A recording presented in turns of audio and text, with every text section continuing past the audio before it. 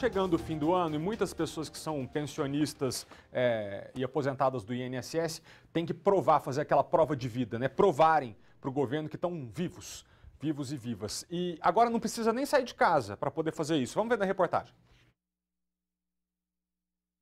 Todo ano, na data do meu aniversário, que era o mês de junho, eu tinha que me dirigir a uma agência bancária, no meu caso era a Caixa Econômica Federal, para fazer a prova de vida. Aposentada há quatro anos, Luci deveria ter feito a prova de vida em junho para continuar recebendo a aposentadoria. Você tem que sair da sua residência e até uma, uma agência bancária, pegar uma senha, aguardar o atendimento.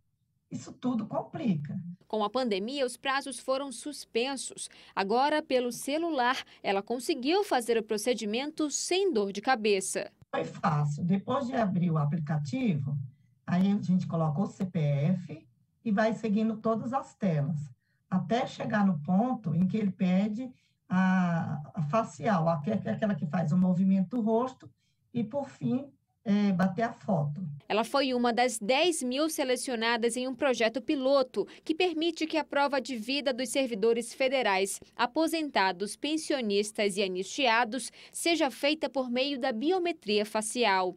Para isso, basta baixar o aplicativo CIGEP, que já é usado pelos servidores para verificar, por exemplo, contra-cheque e férias, e depois seguir os passos indicados no próprio sistema.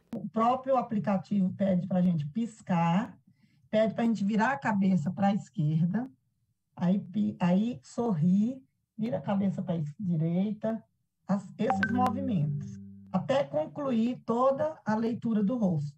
Se nos próximos dois meses tudo der certo, a partir do ano que vem, mais de 650 mil servidores federais inativos de todo o país poderão fazer a prova de vida pelo aplicativo. A única exigência é ter cadastro biométrico no Detran ou no Tribunal Superior Eleitoral. Segundo o secretário de Gestão e Desempenho de Pessoal do Ministério da Economia, o servidor vai receber de forma segura todos os avisos e alertas pelo próprio aplicativo. Fica muito mais fácil para fazer o acompanhamento.